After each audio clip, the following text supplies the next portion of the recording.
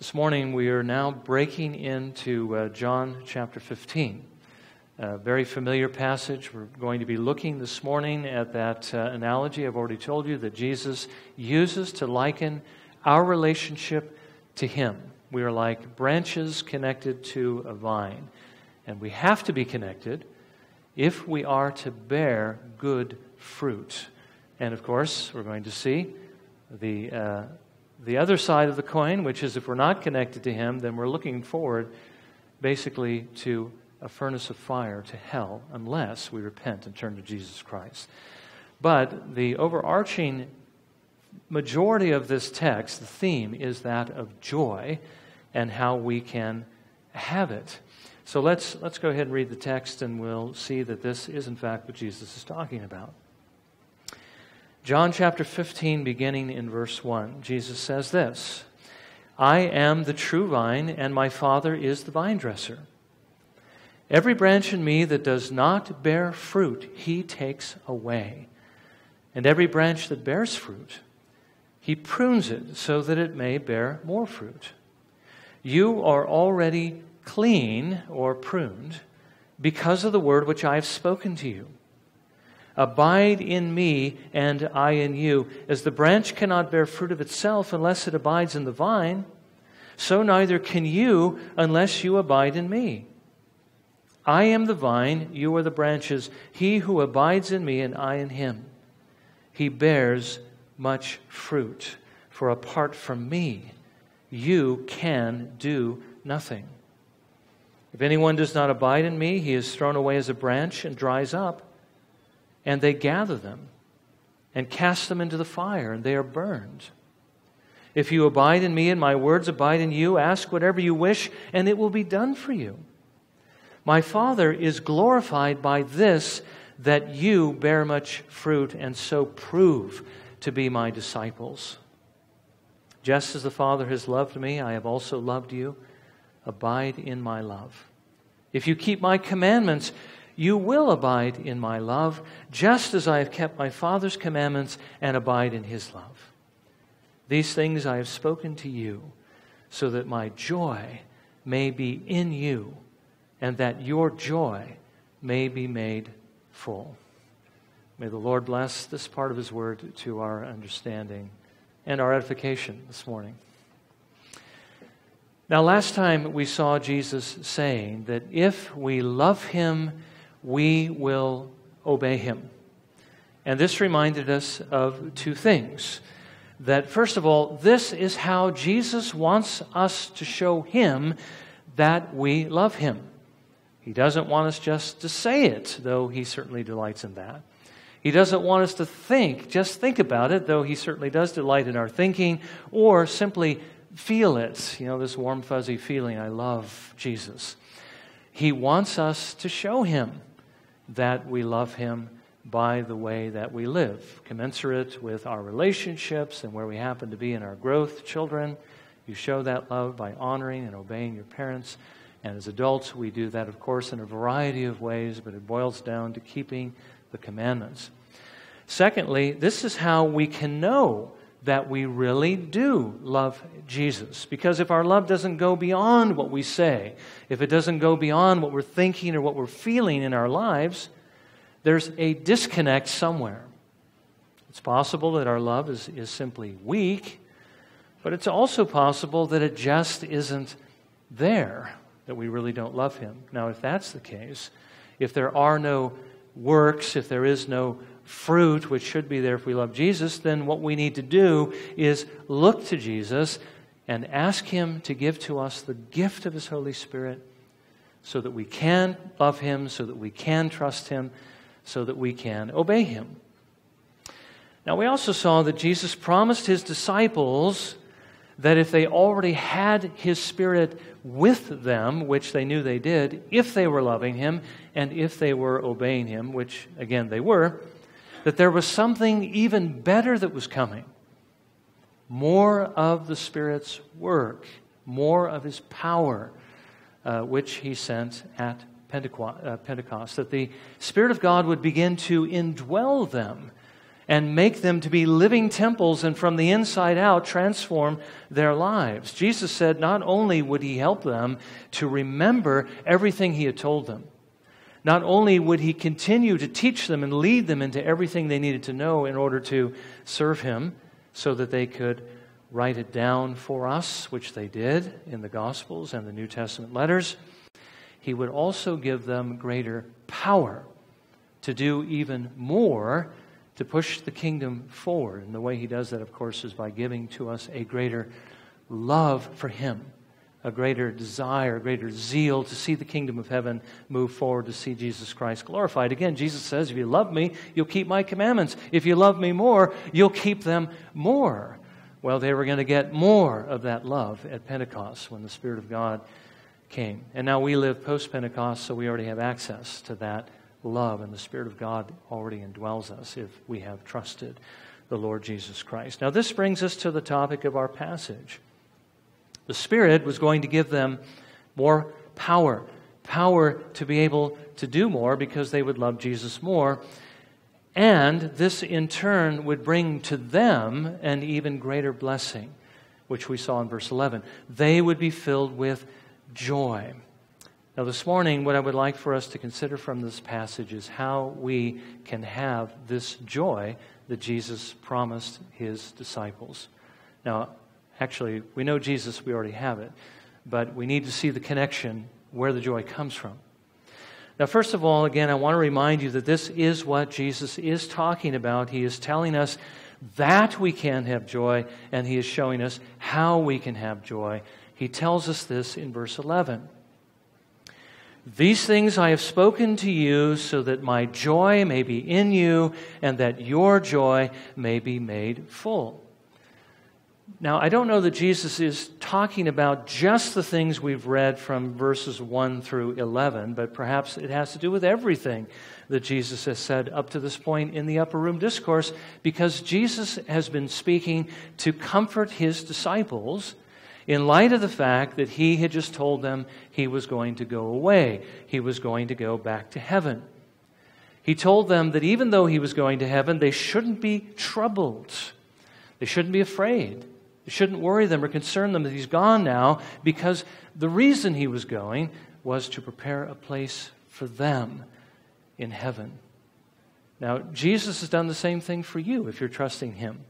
He has gone to prepare a place for you which means you should not be troubled either, but rather be assured that the one who loves you will never let you go, but will bring you safely to heaven. He will bring you all the way. Now, he also told them not to be afraid because even though he was leaving, he would not leave them as orphans. You know, Jesus essentially had been their father during the last three and a half years. His ministry to them was one of, of provision, one of protection, one of instruction. In every way, he was a father to them. But even though he was leaving, he tells them he was not going to abandon them, as we saw last week. He was going to come to them again in the presence of his Spirit. He says he would come and abide with them, that he and his Father would come and dwell within them. And what he meant by that was he was coming in the Spirit.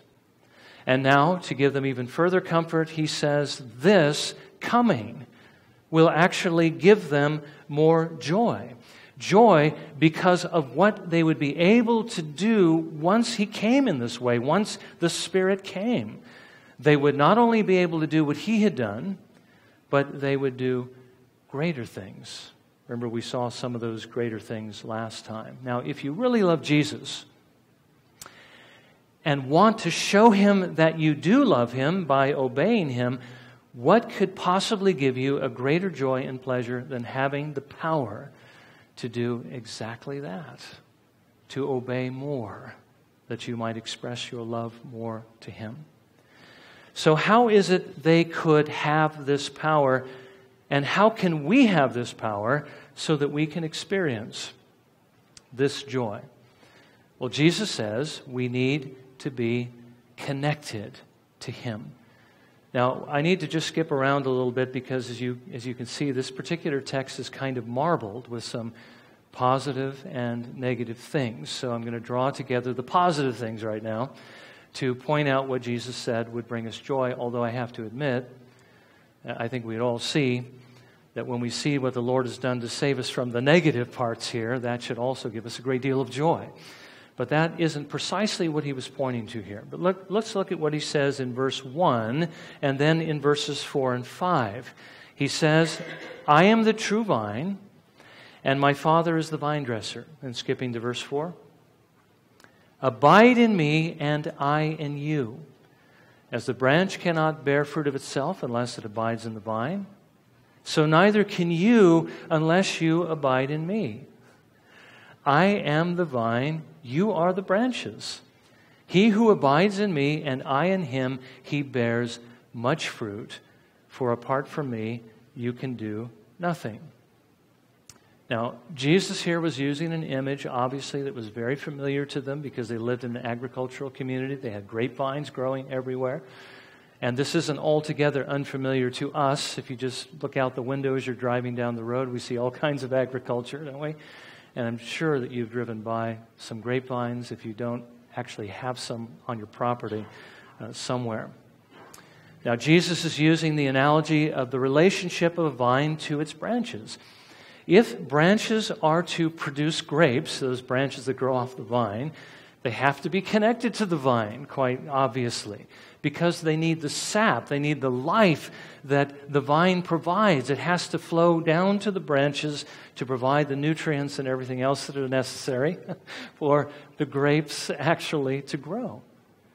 Well, Jesus is telling us in the same way that if we are to produce fruit, if we are to obey, we need to be connected to the vine with a capital V. We need to be connected to Jesus. We need the life power, or I should say, that basically the life giving power that comes from Him, from His Holy Spirit, because the Spirit of God is the one who comes from Jesus, comes through this connection, and gives us the ability to do this. Without this connection to Jesus, without His Holy Spirit, we cannot do anything. And what Jesus means by that is we cannot do anything good. There are things we can still do, but nothing that God is interested in, nothing that He wants. We can still sin without being connected to Jesus. I mean, we can disobey God. We can do the right things, even the right things, but we do them for the wrong reasons. But we cannot do good. The right things for the right reasons. We can't obey him out of love. We can't obey him out of a desire to bring him honor. And again, that's why Jesus says in verse 5 at the end, Apart from me, you can do nothing. Remember, Jesus said back in John chapter 6 the flesh profits nothing. It is the Spirit who gives life. Without the Spirit, you cannot do anything good. Now, again, that's because of our condition when we came into the world. Remember, the Lord tells us we came into the world dead in sin, spiritually dead, and unable to do anything pleasing to God. We were dead to obedience. We didn't want to obey God. But we were alive to disobedience. We loved to sin. Paul writes in Ephesians 2, verses 1 through 3. And I want you to notice Paul includes himself in this because this was once his condition apart from Jesus Christ. But right into the Ephesians, he says this And you were dead in your trespasses and sins, in which you formerly walked according to the course of this world, according to the prince of the power of the air of the Spirit that is now working in the sons of disobedience. Among them, we too all formerly lived in the lusts of our flesh, indulging the desires of the flesh and of the mind, and were by nature children of wrath, even as the rest. Now, Paul means by that not only were we the children of wrath, and we were under God's wrath, and we would have been destroyed if he hadn't changed our course. But what he meant is we had the, the nature of the children of wrath, which means we love sin. We love disobedience. We wanted to do only those things basically that were displeasing to God. And again, I'm not saying that people who are not believers never do anything that is outwardly good. They just don't do it for the right reasons, which means they don't do anything that is truly good. Now, when we were in this condition, Paul tells us that we could not do anything pleasing to God. Again, the flesh profits nothing. Paul writes in Romans 8, verses 7 through 8 The mind set on the flesh is hostile toward God, for it does not subject itself to the law of God, for it is not even able to do so. And those who are in the flesh cannot please God. You see, if, if all you have is the flesh, if you don't have the Spirit, if you're not connected to Christ, that's all you can do. Jesus says, apart from me, you can do nothing. So if we are to have the power to do good and to produce the kind of fruit that is pleasing to God, we have to be connected to the vine. We have to be in Jesus and we have to have His Spirit working through us. Of course, if we're connected to Jesus, the Spirit who actually connects us to Him. And once we're connected to Him, the Spirit of God flows through us and gives us the ability to do what is good. Now, again, the only way that we can be connected to Jesus Christ is by faith. We must be willing to turn away from our disobedience. We must trust Jesus alone to save us and we must begin to follow him. We must do what it is he wants us to do.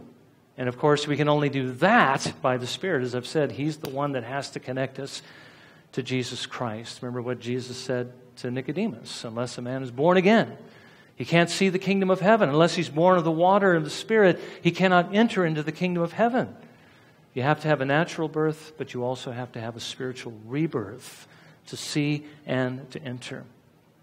But once we are connected to Jesus through this new birth, once we are abiding in Him, and He is abiding in us, dwelling in us, the Spirit, His Spirit, will flow into our souls and give us the power to do what He calls us to do.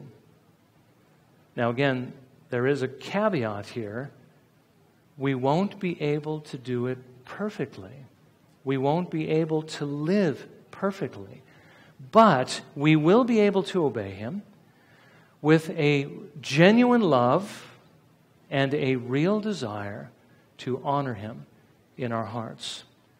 And since we now love him, and since we are now obeying him, that brings us joy, as well as everything else Jesus said leading up to this point. Now, Jesus tells us there's other things here that will bring us joy as well. He says if we are connected to Him, we'll not only bear fruit, but we will bear much fruit. And that will, of course, be determined by how much of His Spirit is actually flowing through us. And that depends on a number of things how, how much we use those ways that God gives us to get more of the influence of His Holy Spirit. How much we turn away from our sins and fight against them because every time we give in, we lose some of that influence of the Holy Spirit. And the more we lose, the less we'll be able to do for Him. But the more we gain, the more we abide in Jesus Christ, and as it were, look to Him through this connection by faith, the more we will gain that help of the Holy Spirit. Now, Jesus says, if we are connected to Him, we will not only bear fruit, but we will bear much fruit.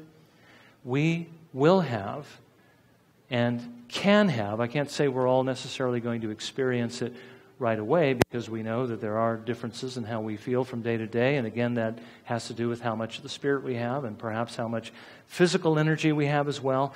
But we will have the power to do a lot for Him. Looking at verse 5. I am the vine, you are the branches. He who abides in me and I in him, he bears much fruit. Now, if doing a little for His glory and for that of His Father gives us joy, just think how much joy we'll have when we're able to do more for His glory. I mean, if you love the Lord, don't you want to serve Him?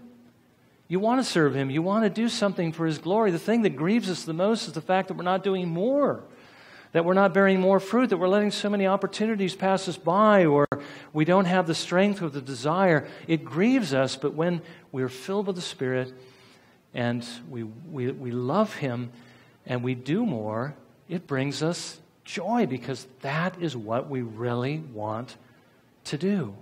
Every Christian wants to do this to some degree. We need to be able or, or desire to do it as much as possible. Now, If we bear a lot of fruit, Jesus tells us in verse 8 that our joy will be even greater because it will also prove to us that we really do belong to Him, that we really are His disciples, that we really are new creatures in Christ, saved by His grace, that we really have been delivered from the punishment that would be ours for our sins, which we're going to look at in just a few moments, and that we are on our way safely to heaven. Notice what Jesus says in verse 8. My Father is glorified by this, that you bear much fruit and so prove to be my disciples. That glorifies the Father when you bear much fruit, but when you bear much fruit, it also proves that you belong to Him. It proves it to the world. That is the witness. Remember, by this they will know that you are my disciples, by your love for one another. But it also proves to us that we are his disciples. Because if we are barren branches that bear absolutely no fruit, uh, if, we, if a tree is known by its fruits, then where's the evidence that we actually belong to him? If we don't see any fruit, either we don't know what we're looking for, or there's no fruit. But either way, we're not going to have the joy that's going to come from knowing that we belong to him, which is strongly proven or evidenced by the fact that our lives are actually bearing fruit and much fruit. It, it's a joy to be able to bear or to do a lot for Jesus because you love him. Now, if we are bearing good fruit, if we are trusting Jesus and doing what he tells us to do in his word, he tells us also something else that will bring us joy, and that is that we can ask for whatever we want, and he will give it to us. You know, I like the way that Jesus keeps repeating this promise because we need it. We need some encouragement, and we need to be encouraged to pray. But here is another uh, promise the Lord gives to us to increase our joy because it will help us serve Him better. He says in verse 7 If you abide in me and my words abide in you, ask whatever you wish, and it will be done for you. Now, again, we saw recently that He will do these things because the things that we will ask for, if we are in Christ and He is in us by His Holy Spirit, the things we will ask for are the things He wants us to have. We're, we're not going to treat Jesus the way He is treated in, in you know, some churches where He's kind of like a cosmic genie you know, we, they take verses like this and they think Jesus is saying to us, Your wish is my command, and so command what you will, and I'll do it for you. That's not what we have here. If we are obedient servants who love Jesus and want to serve him, he says we can ask and he will graciously give us the things we need to be able to serve him and love him better so that our joy might be filled and so that he might be glorified and his Father glorified. That's a lot different than the way this is being interpreted in a lot of different even, well, churches, sadly. But of course, as we see the answers to prayer, because He abides in us and we in Him, and because we're doing His will, we see the answers to these prayers. Not only the promise gives us joy, but especially the answers to those prayers.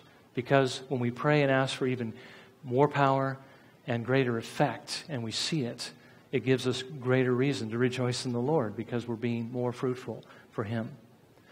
And Jesus goes on to say, so that we won't stop bearing fruit, he says the Father promises to continually prune us. That, he says, is his Father's work, so that we will bear more and more fruit. Look again at verses 1 and 2.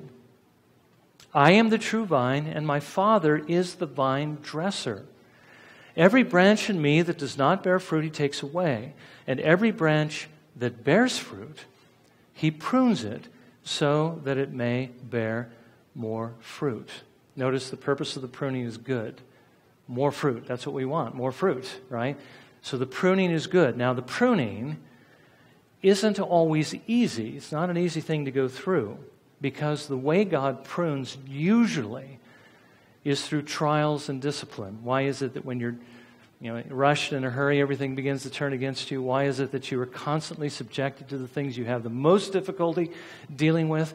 It's because the Lord is training you. He is bringing trials in order to train you, in order to help you to grow so that you may bear more fruit. So the sooner you submit to those things and learn the lessons, the sooner you can move on. I'm speaking to myself mainly. There are so many things that you just have to be confronted with so many times before you say, you know what? This can't be happening by chance. The Lord is bringing these things. I need it. So what do I need to learn? Patience, usually. We need patience. But He does it so that we will produce more fruit. It's hard, but the results are worth it because we will be able to do more. You know, you think of that expression that we often hear no pain, no gain. We have to, in the Christian life, do the same thing. We have to go through the pain of pruning in order to go through the gain or the gaining of the ability to do more for Him. Now, there's one last thing along these lines. Um, actually, there's maybe a couple more, but one last thing along these lines of pruning that maybe we don't recognize as pruning right away. Look at what Jesus told his disciples in, in verse 3. He says, You are already clean because of the word I have spoken to you. Now, that almost seems to be out of place. What is Jesus talking about? Well, he's, that word clean there is the same word used for pruning. You see, the Father, when He prunes, is, is really cleansing you of sin. He's, he's weaning you of sin. He's, he's helping you to put to death your sins and to overcome sins. Jesus is talking about the same thing here to his disciples. He is telling them they have already been cleansed, they have already been pruned, so that they are ready to produce fruit because Jesus has already pruned them through his word.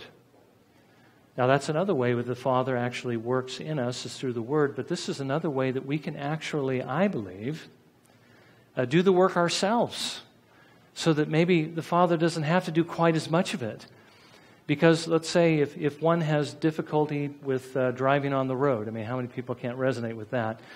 Uh, the way people drive, the stoplights, the number of stoplights, the fact that they always turn red against you most of the time. And I mean, the Lord is teaching us patience, you know. Well, what are we going to do? We can disregard what God says in His Word and we can just simply keep trying to make those lights green and and do what we can to get through them and continually face red light after red light after red light and, and get frustrated. Or we can just simply submit to what God says in His Word. We need to learn patience and just know that when God brings these things, He brings them for a reason. He's even in control of the stoplights and in everything that's going on in your lives. So when you submit to that and you, you, you correct yourself, you discipline yourself, then you don't need the Lord to do the other, you see. Now, He'll still do it, He'll still, still do His work, but He will do less of it if we do more.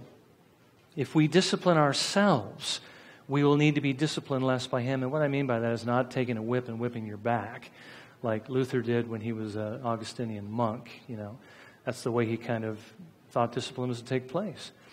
And when I say that God won't discipline us, I'm not saying that He's you know, not just the, the chastisement, as it were, for the things we've done that are wrong, but I'm talking about discipline in the broad sense that he means it, which is instruction, correction, nurture, training.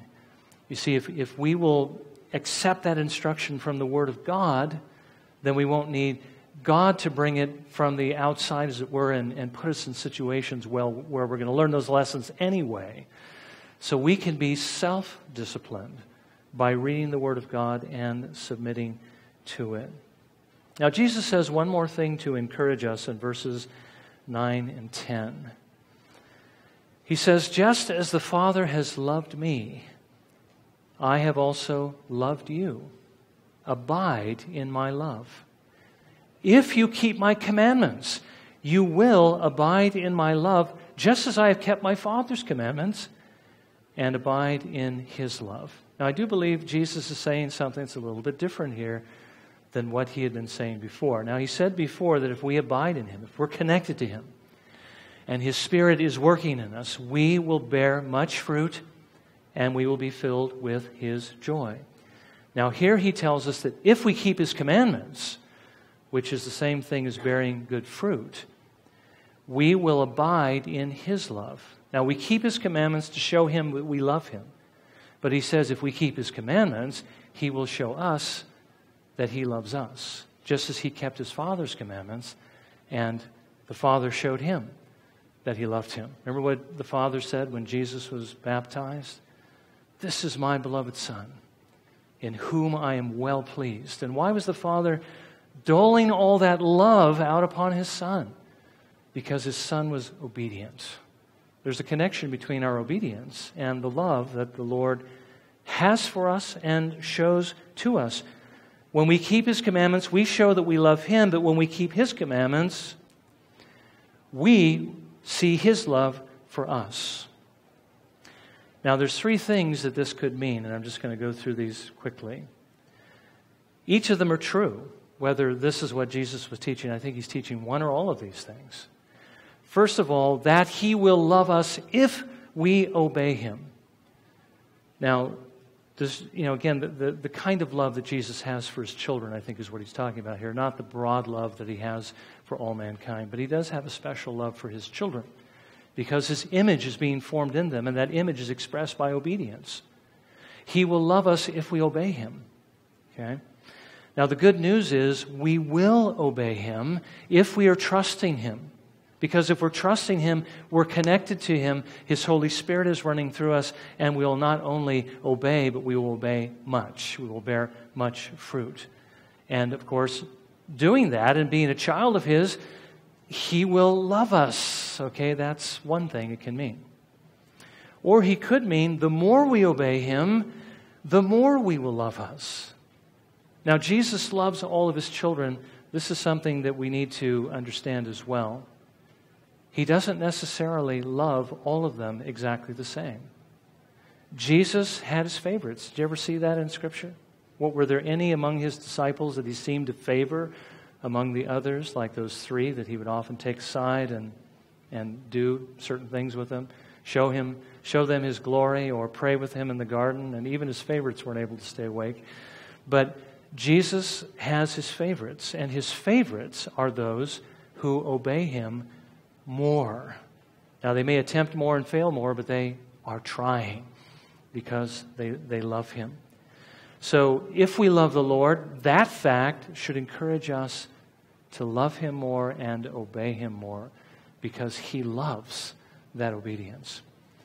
Or He could mean this that through our disobedience, or excuse me, through our obedience, we will sense more of His love, that we will feel in, in an experiential way that love for Him. You know what happens when you don't obey the Lord? Can you sense the love that Jesus Christ has for you when you don't obey Him? Well, when you quench and grieve the Holy Spirit, which is the love of Christ within us, you, you don't sense it. You sense less of it. And it's when you're walking with Him in obedience that you sense more of it.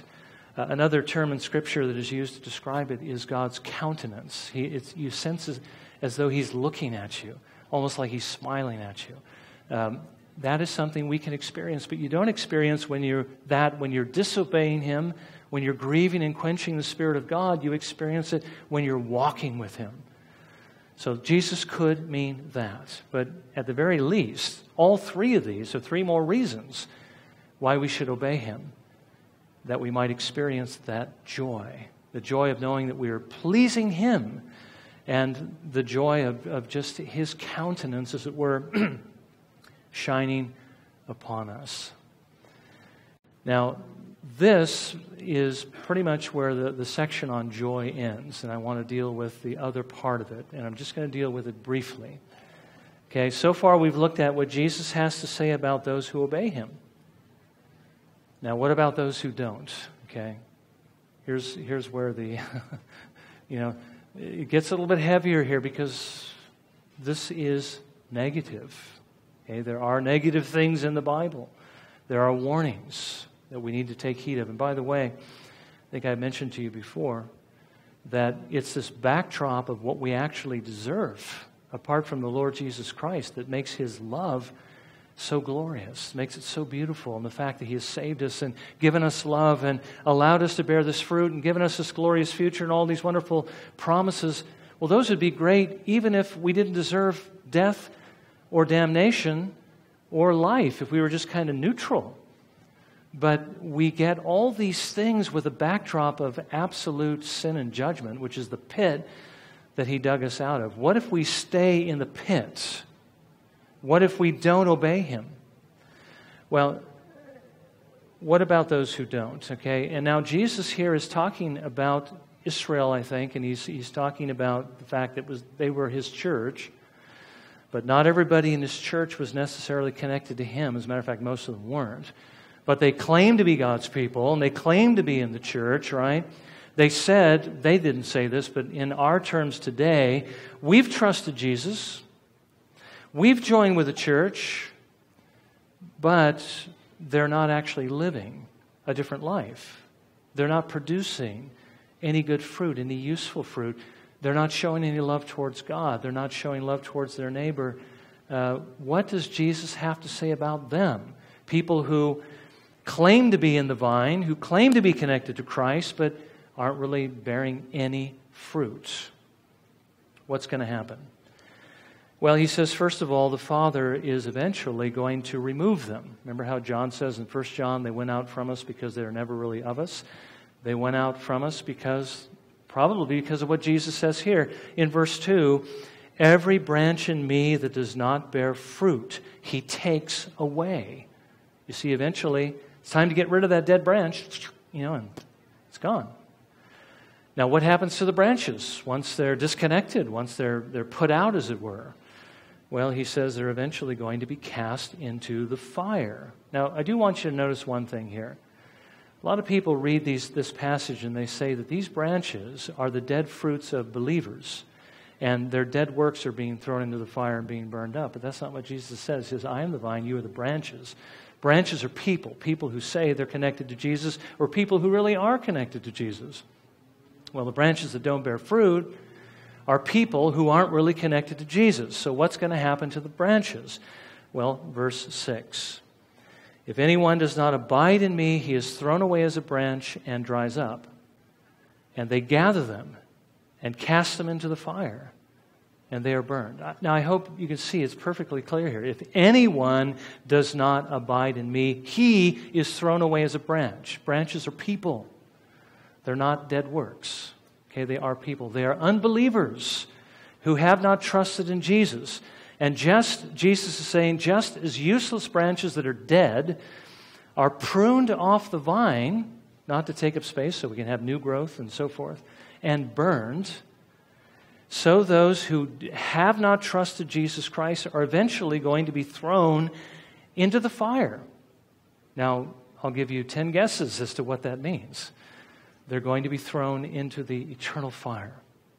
Now, we don't rejoice in the fact that that's going to happen, but it is going to happen. Now, on the day of judgment, there is a sense in which we will, because everyone who is cast into the fire, who is an enemy of God, deserves what they're getting. But as Jesus tells us now, love your neighbors, you love yourself. We care about them. We don't want them to have to go there, you see. We want to save them from that. So, what Jesus is saying here is this that simply saying you believe in Jesus is not enough. Becoming a member of a church is not enough if you're not trusting Jesus, if you're not connected to Him, if you're not abiding in Him, if His Spirit is not in you, if you are not then producing good fruit.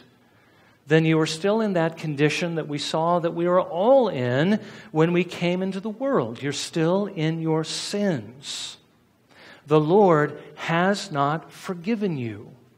And when you die, Jesus says the angels are going to go through his kingdom. They're going to gather up everyone that doesn't belong to him, all the tares, and they're going to be cast into the lake of fire.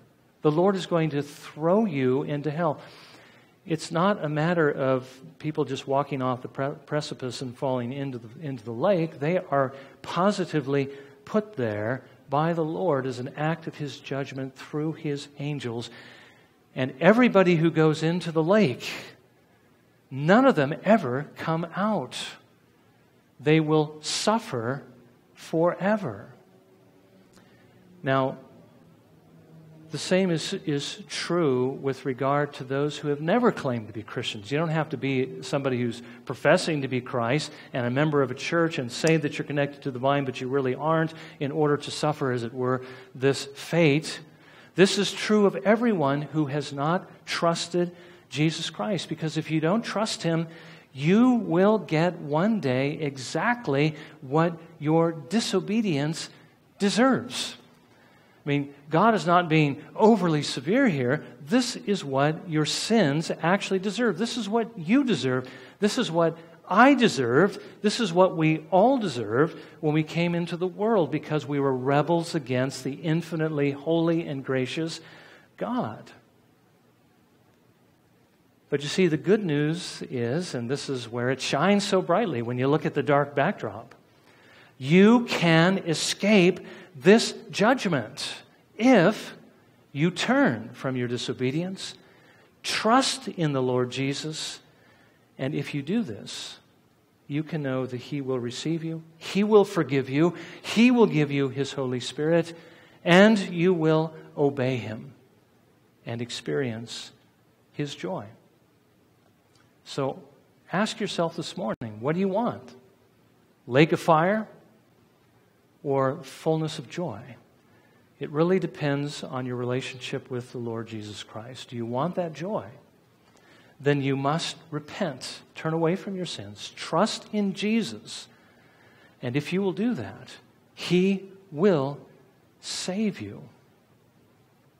Well, let's, let's bow in a moment of prayer and let's ask the Lord to apply this. Again, we saw joy. Don't let what we just looked at, for, you know, blot out of our minds what we saw earlier. There is joy to be had, joy in bearing fruit, but we must trust in the Lord Jesus. So let's pray that the Lord, on the one hand, will give us the grace to be able to bear more fruit. And on the other hand, let's remember that if we're not trusting Jesus, there isn't joy, there is only fear. The fear of what God will do to those who have not turned from their sins and trusted Jesus. He will give you what you deserve. And you don't want what you deserve. What you want is what Jesus deserves.